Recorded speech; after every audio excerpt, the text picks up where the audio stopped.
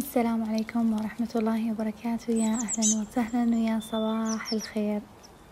كذا اليوم كانت عندنا ما شاء الله تبارك الله الأجواء غيوم آه، فحبيت ناقصني كذا شتلة آه، للحديقة حقتي.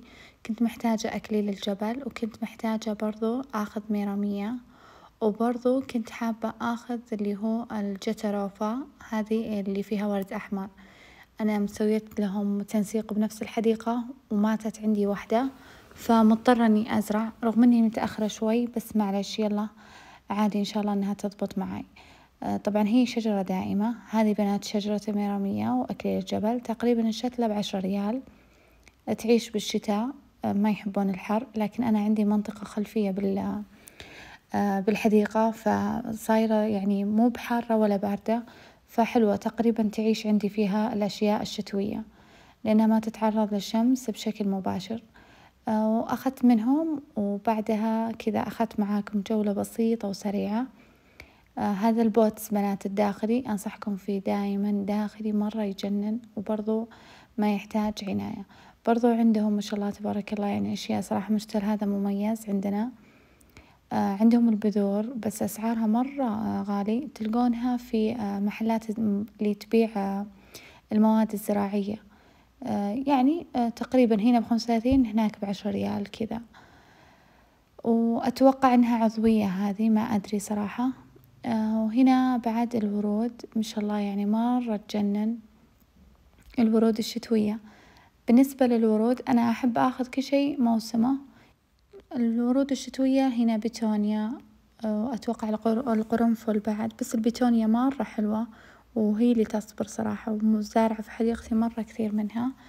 إذا جاء الصيف خلاص تموت. البديل لها في الصيف اللي هي البوفتة حلوة ودائمة مرة وتقعد يعني فترة طويلة حتى بالشتاء تصبر لكن تذبل يعني مرة لأنها نبات يحب الحر. وبرضو هنا ما شاء الله يعني آه، كثير من النبتات عندهم. آه، بحاول إن شاء الله إني أتكلم لكم عن الزراعة. وهذه العنب لكن العنب تحتاج صراحة العريش يعني مظلة وتمشي عليها. برضو الياسمين الأحمر حلو مرة وعندي منه هذا الجهنمية. الجهنمية اللي مطعمة أفضل من الجهنمية العادية. هي اللي تصير ألوانها كثيرة وتصبر مرة صبورة لكن أنا ما أحبها عشان أوراقها مرة كثيرة. تتناثر بالحوش وتحتاج يعني صدق صدق تنظيف مستمر. أنا مجربتها قبل فاستغنيت عنها صراحة في بيتي ما حطيتها أبدا. وبس كانت جولة بسيطة إن شاء الله أنكم استفدتوا منها. بعدها وأعتذر يعني صراحة غبت هاليومين لكن صار عندي ظرف وما قدرت. بعدها رجعت البيت بسوي معاكم وصفة مرة حلوة. هذه الوصفة مشهورة فيها آه، فلسطين. طبعا عندي كوب آه، حلبة آه، غسلته. ونقعته ليلة كاملة بعدين كبيت مويتها وطبختها في موية مغلية. حطيت كوبين موية آه، على كوب الحلبة وتركتها تطبخ شوي. آه، بعدها جبت زبدية وحطيت عليها كوب سميد. أضفت ملعقة baking powder ملعقة خميرة. أضفت ملعقتين آه، كبيرة حبة سودا ملعقتين كبيرة سمسم محمص. بعدها أضفت كوب دقيق عادي اللي هو دقيق فوم. خلطت كل المكونات مع بعض آه، يعني بالملعقة عشان تتمازج كل الخليط. بعدها أضفت آه، أنا إضافة من عندي أضفت شوية جوز هند أضفت ملعقة صغيرة يانسون أضفت تقريبا آه، نصف كوب زيت الزيتون. ضروري إنه يكون زيت زيتون عشان يعطيها طعم مرة حلو. في ناس يحطون نصف كوب سمنة ونص كوب زيت زيتون لكن أنا حطيت بس زيت زيتون عشان تكون صحية أكثر. طبعا هي أكلة شعبية شهيرة فيها في فلسطين. آه بعد ما خلصت الحلبة بعد ما سلقتها أضفت الحلبة على المكونات وأخذت من موية من موية الحلبة اللي تو سلقت فيها تقريبا آه كوب موية وصبيته على نفس الخليط. طبعا بنات بعد ما برد معي هذا الكوب آه وبعدين أعجن كل المقادير مع بعض. ضروري بنات نعجنهم آه كويس عشان تنعجن معانا كل المكونات لأن الحلبة كانت يعني آه مخلوطة. مرة يا بنات هالوصفة صدق صدق يعني من الوصفات الفلسطينية الشهيرة لكن جدا لذيذة. بالنسبة لنكهة الحلبة شوفوا أكيد فيها نكهة حلبة ما أقول لكم لا ما فيها فيها. لكن ما تحسون بالنكهة يعني اللي مرة مرة. لا التنقيع هذا هو اللي يخلي ريحة الحلبة ومرارتها تخف شوي. أهم شي إذا حطيتوها بالصينية لازم تكون رقيقة ما تكون سميكة لأن إذا كانت معاكم سميكة ما راح تطلع معاكم حلوة وراح تعجن. فردتها بعدين بالصينية مدهونة بزيت زيتون أو زيت عادي اللي أنتم أو طحينة سايلة اللي تحابين. بعدين قطعتها نفس ما تشوفون وأتركها تتخمر تقريبا ساعة. بعدين أدخلها الفرن. هي نفس البسبوسة تحمر من فوق ومن تحت وبعدين نسقيها بالشيرة مرة لذيذة. أنا حبيت أضيف لها كزينة لوز. طبعا أنا ما أدري ذكرت معاها رشة يانسون ولا لا لكن راح أكتب لكم المقادير في صندوق الوصف. هو يعتبر وصفة آه، وصفة حلا لكن جدا صراحة لذيذة مرة وضروري إنكم تجربونها. حلو يعني آه، الأنفاس حلوة أوقات يعني مثلا إحنا محتاجين ناخذ فيها حلبة. آه، صدق صدق مرة حلوة. وأساسا ما شاء الله تبارك الله يعني فوائد الحلبة غنية عن التعريف صحيح الريحة. لكن بعطيكم طريقة مرة تخفف من ريحتها اللي هو كوب شاي نعناع ترى مرة يخفف واليانسون أساسا يخفف من ريحة الوصفة. وبس هنا أدخلها الفرن. أنا أدخلها على حرارة مية وثمانين من فوق ومن تحت. آه، لين تحمر عندي الأطراف. تصير نفس البسبوسة أبد نفس التغير إذا تغيرت لونها من فوق وقرمشت خلاص تكون كذا عندي جاهزة أسقيها بالشيرة وبس علينا وعليكم بألف عافية. جربوها ضروري وعطوني رأيكم. وصفات آه، فلسطين من الوصفات اللي نحبها أكيد. وندعي لهم دائما بالفرج. الله يا رب يفرج همهم ويفك كربتهم يا رب وينصرهم على أعدائهم.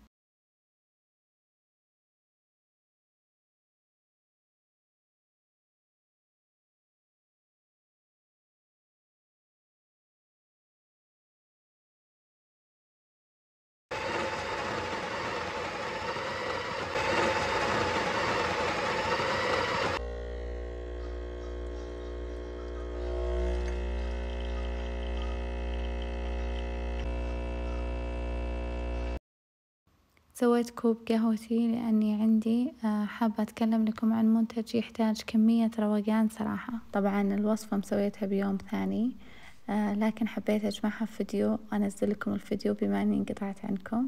شغلت كذا شمعتي وحابة أكافئ نفسي بهال box اللي مرة يجنن مرة يا بنات ضروري إنكم كلكم يكون عندكم نفسه. box آه، ميمي planner ما شاء الله تبارك الله مبدعين مبدعين مرة يجنن ال box جدا جدا راقي. ينفع كهدية ينفع تكافئين نفسك فيها. مرة يا بنات روعة. أنا قلت لكم أنا كنت مستمرة على المفكرات وكنت أشتريهم صراحة بأسعار مرة مبالغ فيها. لكن من طحت بميم planner صدق يعني ما حبيت أتواصل إلا معاهم وأجيبه يعني كل فترة. وما شاء الله يعني متجددين كل سنة يغيرون في المفكرة حقتهم. فمرة روعة. السنة هذه آه، اللي حبيت الصراحة فيها إنه آه، مسوين فيها نظام مرة يجنن وكنت أنا أتكلم لكم عنه اللي هو عن عجلة الحياة. فالمرة هذه أخذت اللي هو الجلد آه، هذا الغلاف حقه جلد. وأخذت أنا أركب عليه. عشان السنة الجاية إن شاء الله بس أغير الأوراق فقط. لكن بعطيكم نصيحة صغيرة مرة آه خذوا الجلد اللي يجيكم خشن لأن الناعم هذا يتغير مع الوقت. آه بس مرة حبيته حلو بالشنطة. آه مرتب مرة. طبعا أخذت من عندهم استيكرات بعد. هذه باللغة العربية. وبرضو عندهم اللي هو الميدالية أخذت منهم اللي قبل شوي مصورتها ميدالية لندن. ومع كل طلبية تطلبونها بأي سعر يعطونكم اللي هو البطاقات هذه التحفيزية. طبعا كمية عندهم محدودة راح تنتهي تجنن البطاقات.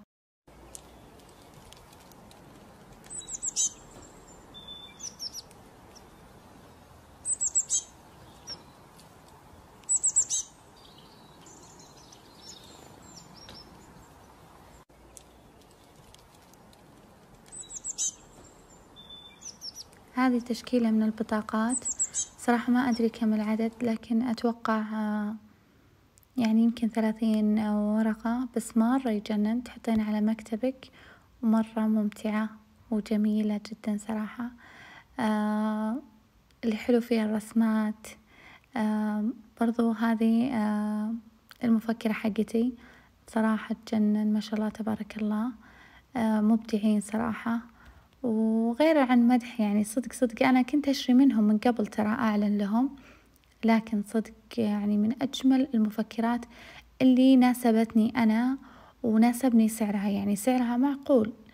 آه عكس البلانرات الثانية صراحة مرة يعني كانت فوق التسعين مية كنت أجيب مية وخمسين كذا مية وعشرين هذه لا سعرها جدا معقول وعندهم أحجام. يعني تبون هذا الحجم الصغير. أنا حبيت الحجم الصغير لأني أحب يتنقل معي كل اليوم. أحب لما أطلع يعني أخذه معي المفكرة أكتب فيها. فمرة حلو. اللي حابة تأخذ حجم كبير موجود برضو عندهم وبرضو برضو موجود عندهم اللي هو السلك العادي. لكن أنا حبيت أجدد هالسنة وآخذ هذه مرة حلوة صراحة. آه خلاص راح أعتمدها بإذن الله. يعني السلك حلوة لكن هذه أفضل أفضل بكثير وحتى شكلها أجمل وفيها عبارات تشجيعية برضو عن الرياضة آه برضو التقييم اليومي تكتبين بيومك مواعيدك الشهرية السنوية إنجازاتك فيها عبارات تشجيعية مرة بطلة وبرضو فيها عن الميزانية. والأهم شي صراحة فيها عن الأذكار وفيها بعد عن عجلة الحياة. يعني مرة روعة صراحة. هذه عجلة الحياة. شهريا حاطينها لكم. تقدرون تعدلون عليها. بس صراحة مرة بطلة المفكرة. أنا حبيت أتصفحها معاكم عشان تشوفون. وبحط لكم حساب ميم بلانر تحت بصندوق الوصف عشان تدخلون أنتم وتشوفون كصور أوضح لكم إذا ما يعني ما كان واضح لكم الفيديو. فمرة مرة صراحة أنصح كل واحدة حتى وكنتي ربة بيت. لازم يكون عندك مفكرة سنوية. أنا من سنوات طويلة والحمد لله ما أعيش بدون مفكرة. في بعد عندهم الحلو أقدر أضيف لها اللي هي مفكرة رمضان. بدل ما أجيب مفكرة خاصة برمضان لا أخذ بس الأوراق من عندهم وخلاص أضيفها للمفكرة حقتي. مرة يعني صراحة فكرتهم بطلة وحلوة وتشجيعية صدق. في برضو أشياء ثانية بس صراحة أنا ما دققت. آه لكن صراحة المفكرة روعة. يعني صراحة ما يحتاج أمدحها. أنا كثير ما شاء الله تبارك الله يعني أخذوا بكوبون خصمي وقالوا لي صدق صدق مرة تجنن يافين واستفدنا منها والله يجزاك خير. فهالشي هذا صراحة يسعدني. فتأكدوا إني ما راح أعلن إلا الشيء أنا أحبه. آه هنا بعد السلك هذه اللي تجيكم عادية. حجمها ترى كبير مرة. برضو حلوة نفس التقسيمات ونفس كل شيء لكن تجيكم سلك.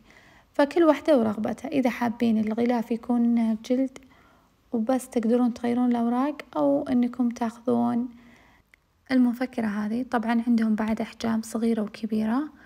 ولكم شوفوا أنا بالنسبة لي أحس المفكرة الكبيرة أفضل بكثير.